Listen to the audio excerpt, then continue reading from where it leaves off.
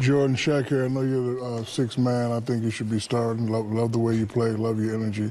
Do you set goals for yourself points wise? Because you know you're a beautiful shooter, beautiful scorer.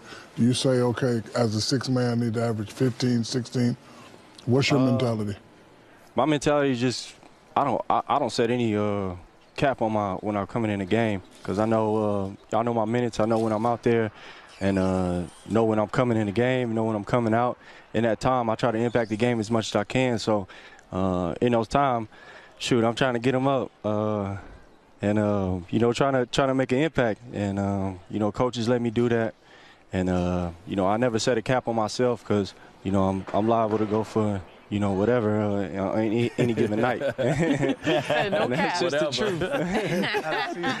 and this is D. Wade.